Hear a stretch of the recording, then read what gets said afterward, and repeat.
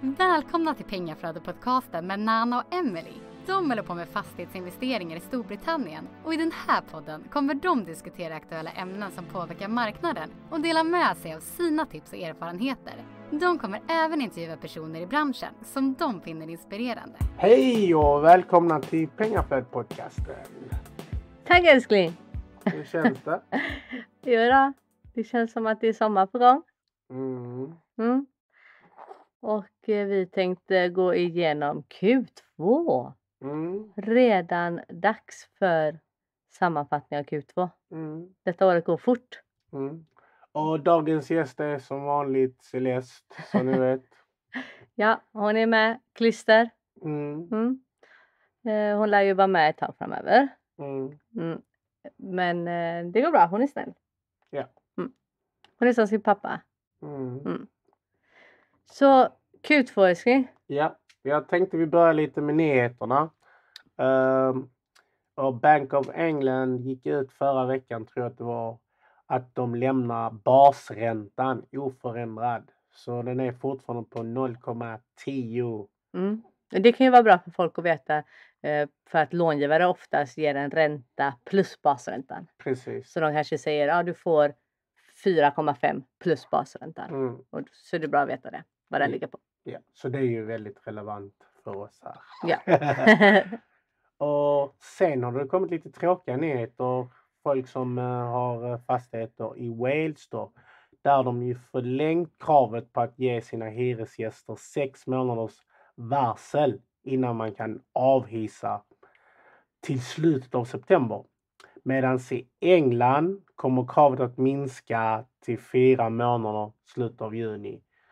Så och avsikt alltså att uh, gå, återgå till det normala då, alltså två månader i september då. Men eh, inget är ristat i sten som Emily brukar säga. ja, exakt. Så vi får se. De lovar inte att det går tillbaka till det normala i september. Men från slutet av juni så är det fyra månader i England. Mm, Eh, Och det är förlängt då till sex månader i Wales fram till slutet av september. mm. Mm. Och sen var det en eh, väldigt intressant artikel eh, vi läste där vi såg att folk återvänder till städerna. Woho! Och det här har vi ju sagt innan ju, så våra predictions var rätta. Ja, lite så.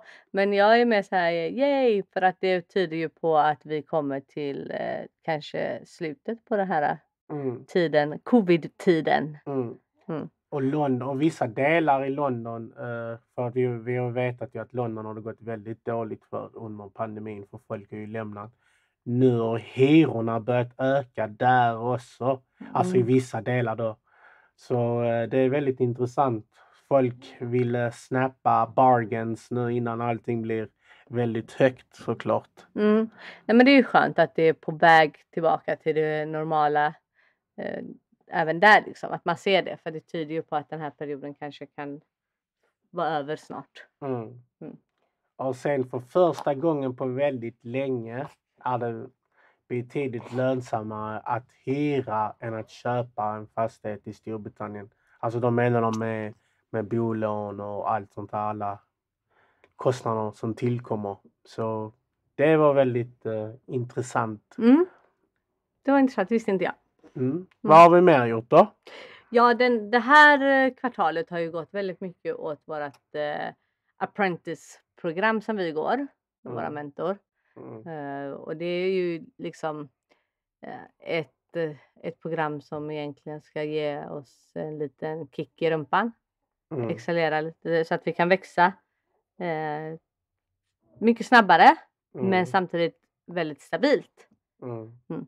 Och det, han är ju egentligen inte en ny mentor, vi har ju haft honom i två år. Mm. Mer kanske nu va? Tre. Mm. Eh, men eh, nu är det ju är lite mer djupgående eh, då för att verkligen växa här. Eh, och det har varit jätte, jätte, jättenyttigt. Ja. Vi har ju lärt oss att mäta effektivitet på massa olika sätt eh, för att få bolaget att växa snabbare också. Mm. Eh, Så det är är någonting vi har fokuserat på väldigt mycket. Eh, Och eh, vi har ju nog kommit fram till att vi har varit lite snälla med våran tidshorisont på när vi eh, ska nå våra mål. Mm. Eh, vi hade ju den här diskussionen nu senast med våra mentor och han tyckte ju att vi är lite så här mesiga kan man säga. Mm. Han tycker att varför ska ni sätta så lång, många år till att nå ert mål liksom? Sätt lite fart så når ni det mycket snabbare. Mm. Så eh, vi siktar ju på inom två år Ja. mm, istället för innan 40. Mm. Och det hade ju varit kul. Ja, såklart hade det varit kul. Så det är ju bara att köra på. Men det har ju varit väldigt nyttigt. Mm. Väldigt djupgående kunskap i det. Så det, all, alla de här liksom ytliga kunskaperna som man kan få på olika kurser har liksom verkligen fördjupats här. Det har varit eh, en riktig eh, Deep dive. deep dive ja, i allt vad liksom säkerhet, finansiering, eh, commercial deals, Mm. title splits, alltså allt möjligt. Mm. Verkligen en djupdykning. Och på Mm. tal om title split då så har ju vi kommit fram till att vi ska läsa en kurs Mm. i title split.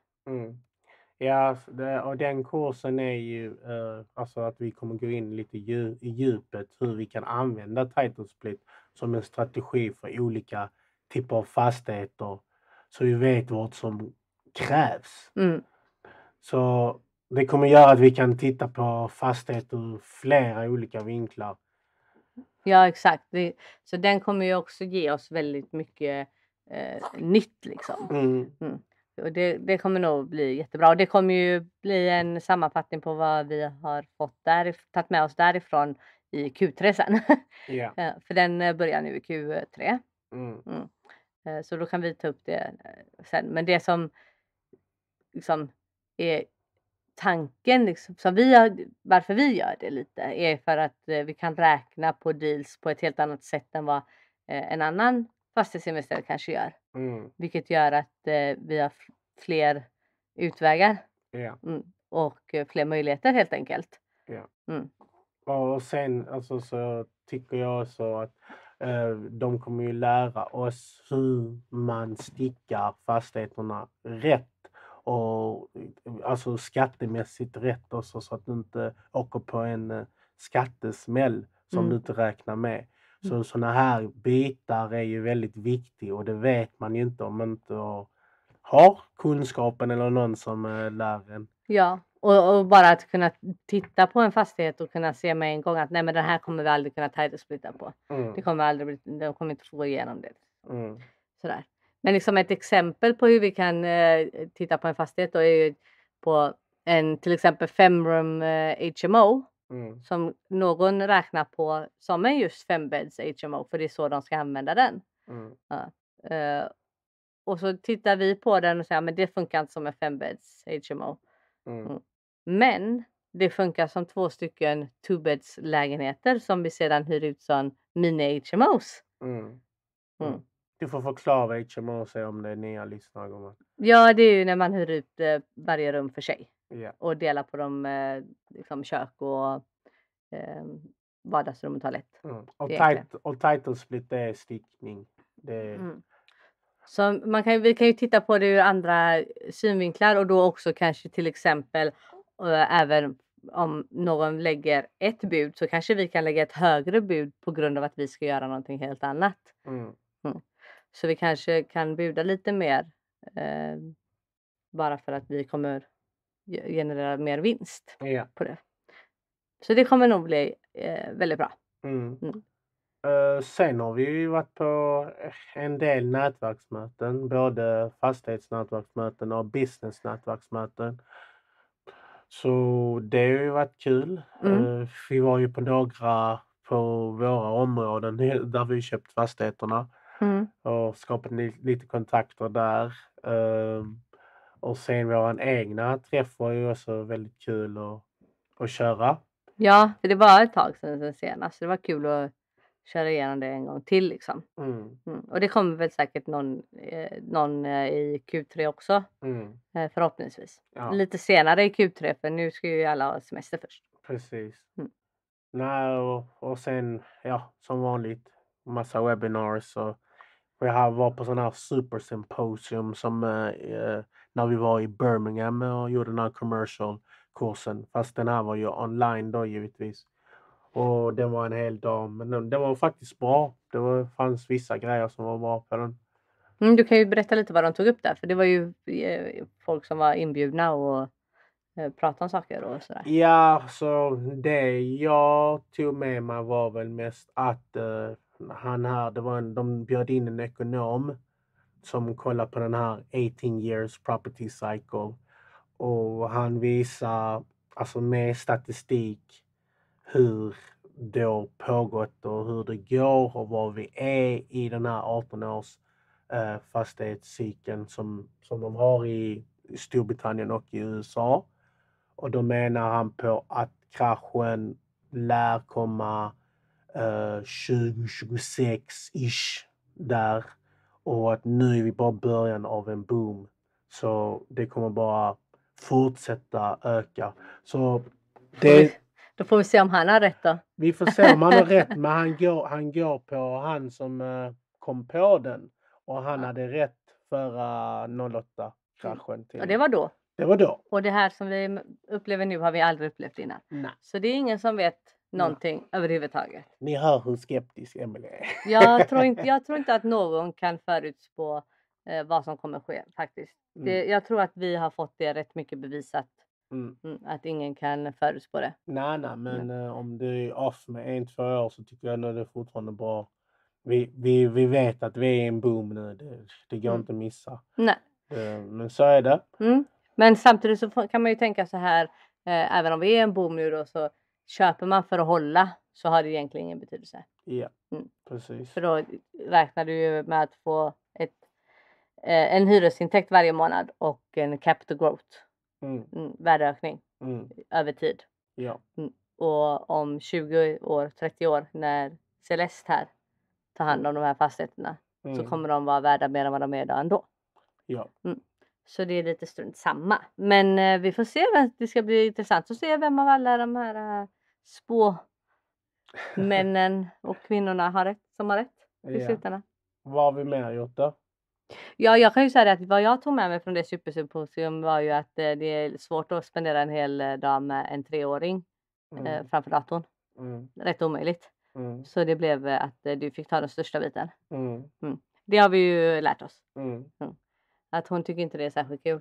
Nej. Även om hon tycker det är kul att eh, vara på taket och spika så är inte att sitta framför datorn en hel dag hennes grej. Nej. Så vi fick dela lite på oss. Men det är bra när man är två. Ja.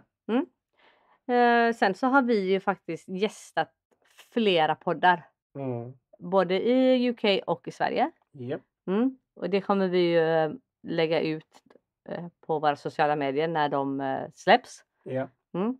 Kommer vara jättekul. Eh, vi, har, vi har ju eh, gjort en förra veckan som var väldigt rolig för den var ju bara helt spontan. Eh, rakt av. Vi bara tjötade i en halvtimme och Mm. spelade in. Mm. Mm. det var ju rätt kul. Ja, det var väldigt annorlunda men Ja. det, var, det var väldigt avslappnande och kul ja, Mm. som du nämnde. Den var väldigt rolig tyckte jag. Mm. Eh, men vi kommer säga till när de släpps Mm. så kan ni lyssna på dem. Ja. Mm. Sen har vi ju tittat på flera större projekt där vi väntar på olika typer av info innan vi kan eh, ta nästa steg ju. Mm. Så eh, Och där har vi tagit hjälp av våra mentor eh, väldigt mycket för han har ju gjort mycket stora projekt och Mm. mycket kommersiella deals. japp. Så han eh, har ju hjälpt oss att peka på att det här och det här och det här, kolla det här och Mm. sådär liksom. Mm. Eh, så nu sitter vi och väntar på lite eh, info på de frågorna. Ja. Mm. I ett fall är det ju som vi väntar på är ju den här eh, det är en neobeds HMO och så, så är det tre lägenheter och eh, den behöver en del renovering men eh, fastighetsägaren eh, tror att han kan få typ marknads Över marknadsvärdet. över marknadspriset och det är vi inte så villiga. Så det, det är där vi bollar på den. Ja, och Eh, sen så funderar han på att han ska, eller, han ska göra vissa saker själv. mm, Och frågan är ju lite också hur mycket han ska göra innan han säljer då. mm, Eh, Så vi är lite sådär, eh, vi vet inte riktigt vad priset hamnar på. Och det mm, beror lite grann på hur mycket han ska göra själv mm, och så. mm. Mm. Så vi väntar och ser. Ja. Mm. Förutom det är vi ju, som ni hörde att förra avsnitt är vi i köpprocessen om två familjehus som vi ska hyra ut till eh, ett företag som jobbar med familjer som haft lite svårt på grund av covid. De är ju statligt backade, femårskontrakt utan managementkostnader med möjlighet med förlängning. Så Mm. it's all good in the hood som de säger. ja, ja, men de blir nog jättebra de också. Och som sagt, där har vi ju det att eh, vi ska, de ligger, en ligger i Leeds en ligger i Sheffield. Mm, Eh, och det är nära stadskärnan och eh, det kommer gå upp i värde. mm, Eh, det är bra områden ja, eh, redan idag liksom. Eh, så de kommer öka i värde. Så Celeste kommer, och Celine kommer få ta hand om dem sen. Precis. Mm. Sen eh, våran Rent to Ranch HMO, den senaste, har vi fått in nya hyresgäster. Så den kommer alltså cashflowa Mm. från och med nästa månad då. Ja, och den har vi ju faktiskt eh, tagit in folk som har suttit i fängelse Mm. och eh, har kommit ut och ska ha en nystart i livet. Mm. You need to give back. ja, eh, så då har vi faktiskt eh, siktat in oss på deras eh, klientell mm. så att säga på Mm. den. Eh, och den är ju eh, uthyrd nu. Mm. Mm. Sen så har du och din mamma varit på massa visningar här i, i Sverige Mm. och, och kollat. Mm. Jag hakar ju inte på för att jag, jag, jag, jag är inte så men- positivt. Alltså. Ja, det gäller, gäller marknaden. Nej men det är ju också för att allting går till överpris och du tycker att det är lite slöseri med tid som du säger. mm, Eh, för att det är budgivningar som trissar upp priset 2 miljoner liksom. mm, Eh, men eh, vi har ju några som har varit intressanta som vi har varit på mm, och det vi har kommit överens om är ju lite att vi går. Eh, på grund av covid så är det ju oftast att man bara får vara två stycken.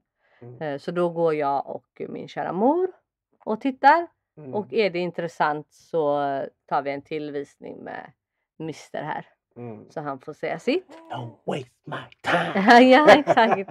Nej men det är väl lite eh, don't waste anybody's time. Mm, Eh, och eh, ser vi också då att eh, det antagligen kommer springa iväg i eh, priset Mm. så eh, hoppar vi ju en extra visning på det även om det är intressant.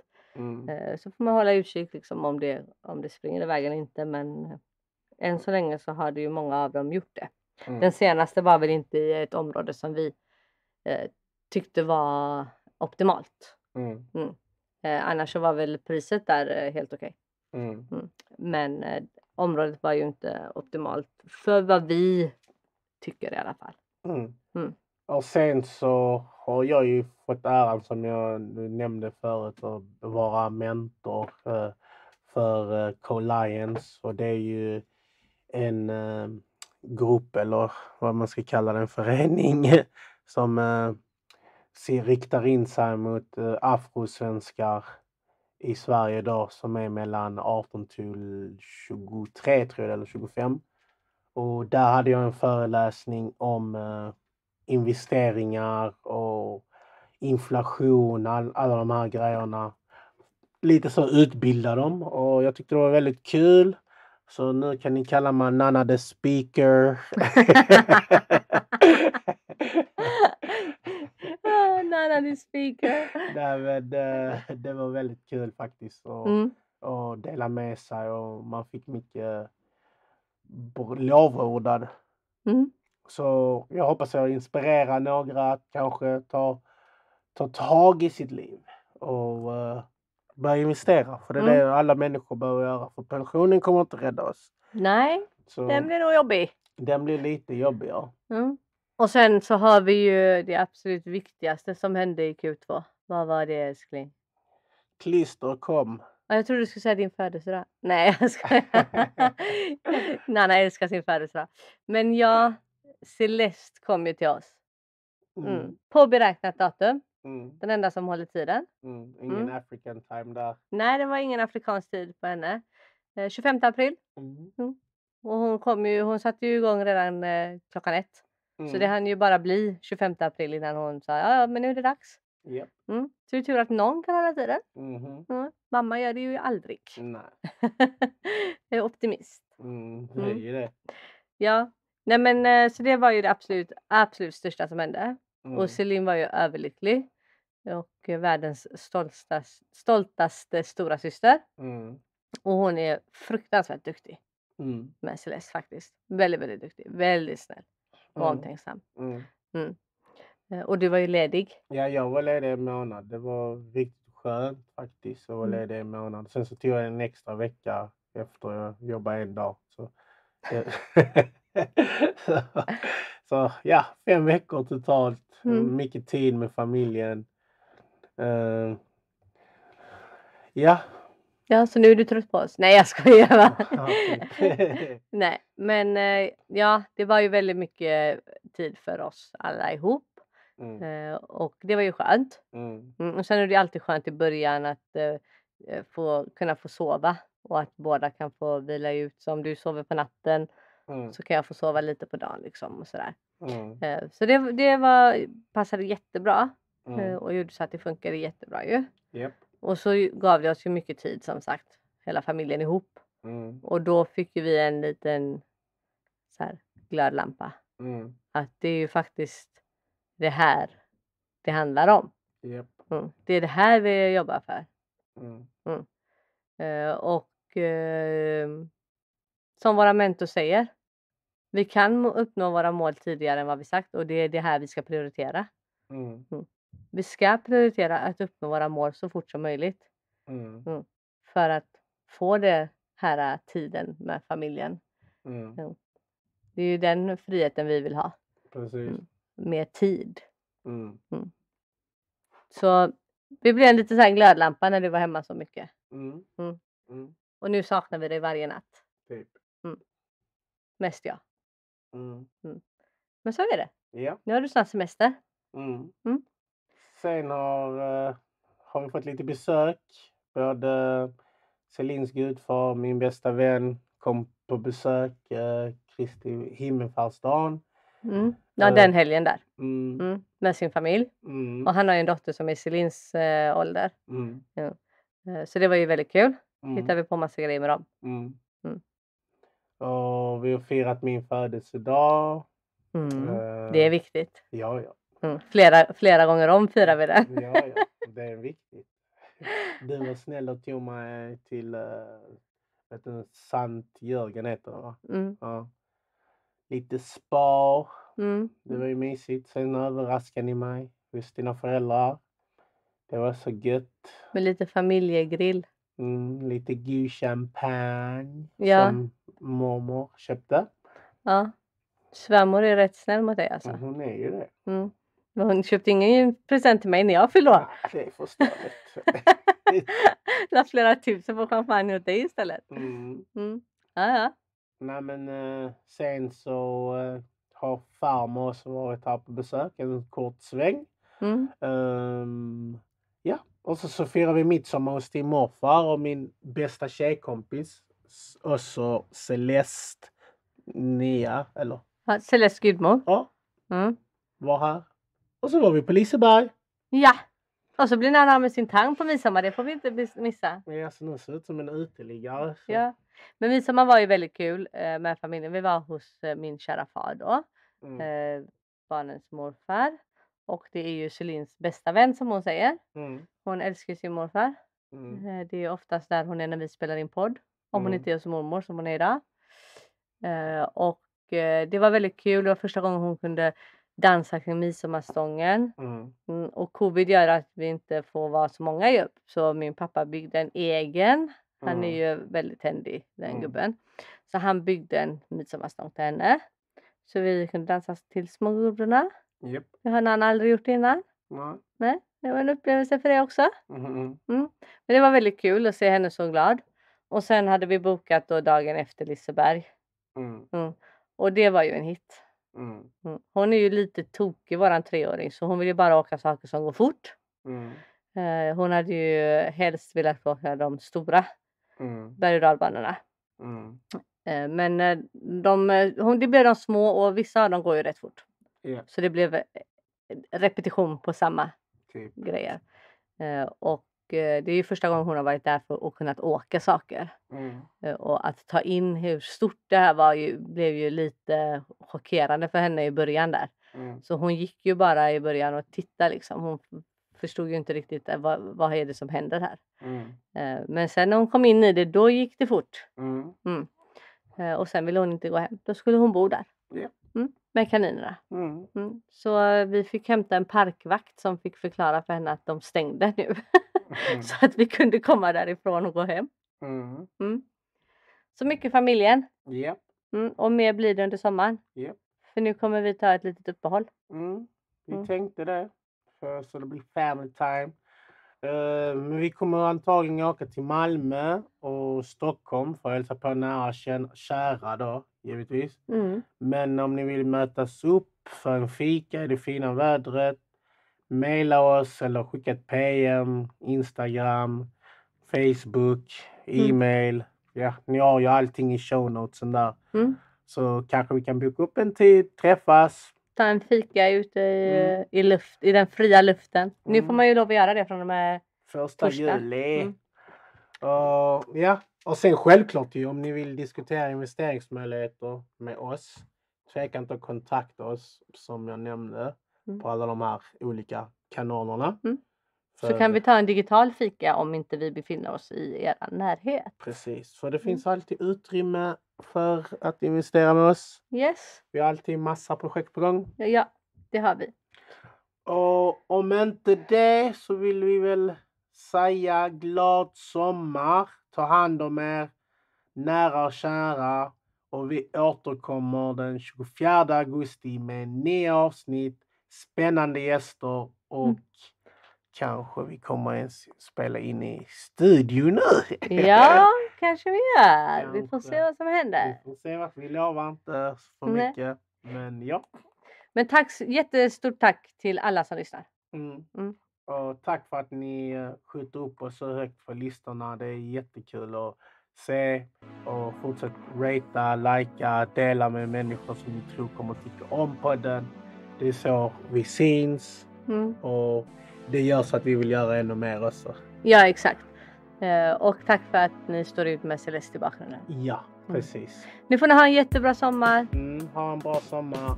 Don't be stressed. Invest people. Hej hej!